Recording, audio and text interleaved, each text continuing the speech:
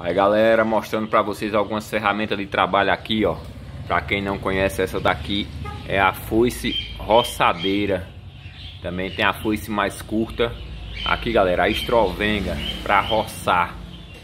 Então é isso aí galera, é mais uma dica aí, ó. Foice roçadeira e a estrovenga aí, mais uma dica para vocês. Se inscreve no canal e até o próximo vídeo.